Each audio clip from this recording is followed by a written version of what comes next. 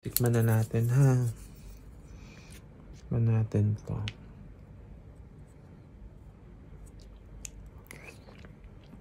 Mmm. Ang sarap.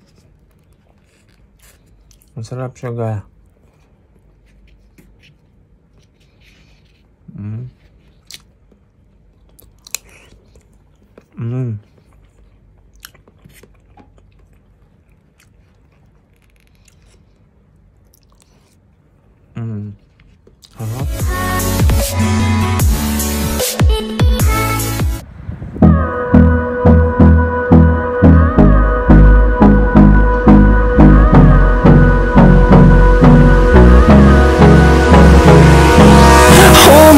Close till I get up.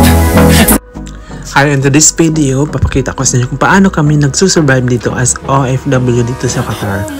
So, ayan. So, good morning sa lahat. Ayan. So, meron tayo ngayong food package. Ayan. Ito yung food package ko sa, sa tuwing uh, napapagod ako or wala akong time magluto. So, mag-order lang ako sa isang kabayan na nagluluto dito sa Qatar. So, ito yung food package na ang may laman nito ay may laman nito. Ito po yung laman niya. Ayan, so nag-consist po siya ng may isa tayong water bottle. Ayan, may isang tubig tayo.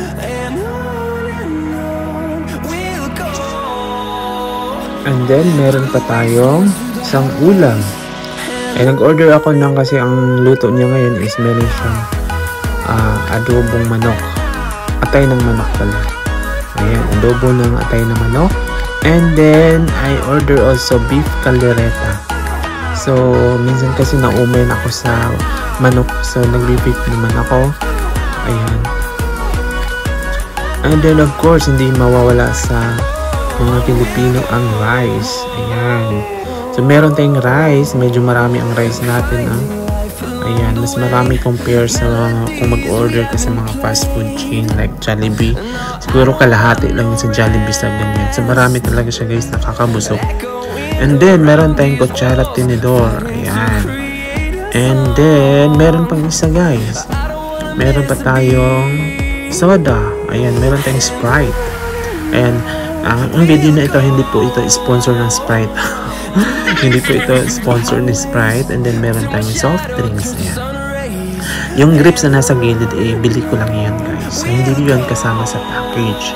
So, itong package na to, guys, ay, na, ay nagkakahalaga ng 13 reals. Ayan, sa mga gusto mag-order dyan, PM lang ako or mag-comment down kayo ng, ng video nito sa baba.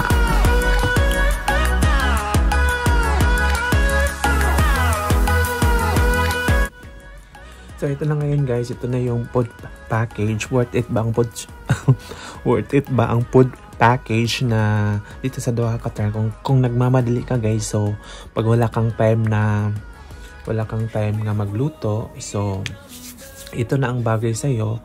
Mag-order ka lang kay Ate Cheng. So nandito po ako sa Doha Qatar, nasa Alsad po ako. So ito yung laman ng food package na in-order ko ngayon. So everyday magsisend siya ng sa WhatsApp kung anong lulutuin niya, kung anong mga ulam at ah, kung anong lulutuin niya at meron pang dessert guys or may mga kakanin or so ever. So ito na yung laman guys ng pagkain na order ko. So una, meron tayong water. Ito is Qatar Oasis. Oasis ba ito? Yan. So worth it siya guys ba? Worth it ba? Magkano ba to sa market? So isang water, water bottle. Isang spoon and pork. Isang spoon and pork. Wait ha. Ayan, spoon and pork. Set aside natin dyan. So, meron akong beef caldereta. So, pag magluluto siya ng beef, mag-order talaga ako ng beef kasi lagi, lagi na lang kami nag-chicken dito. Wala, wala namang pork dito kasi bawal sa Muslim country. So, most like kinakain namin dito is beef or chicken lang o tsaka mga processed food like hotdog, itlog, yung mga ganun. Mga basic needs sa mga alam mo na mga pagkain Pinoy. So ito na beef caldereta. Ayan. Ayan, beef caldereta. Tapos nag-order din ako ng adobong atay ng manok. Ayan, adobo. Ayan, atay ng manok. Ayan, ganito siya kaano. And then, meron tayong rice. Ayan. Malaki ang rice na guys. Rice tayo. And then, meron pa tayong Sprite. Ayan, Sprite guys. Ito yung order ko na worth 13 real guys. So, 13 reals ito lahat. Yung kasama ang water. So, ganun kami uh, nagsusurvive dito mga OFW pag mabilisan, walang time magluto.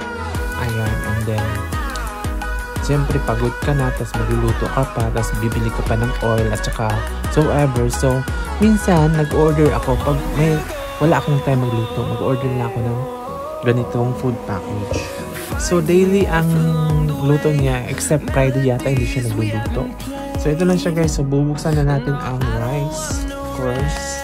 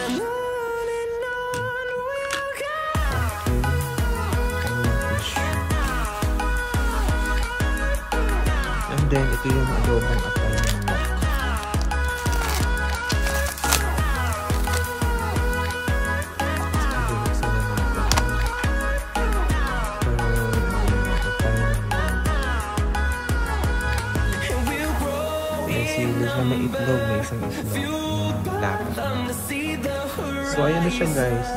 So, titikman na natin. Titikman na natin.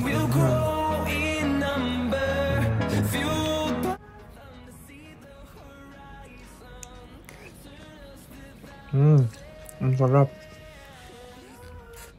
Ang sarap siya, ga.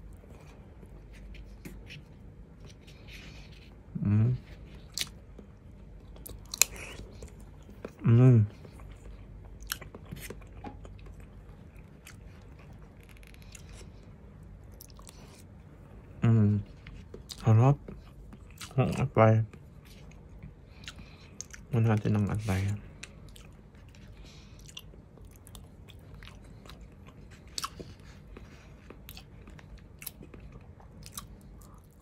Mm, sarap din guys. May itlog siya guys, oh.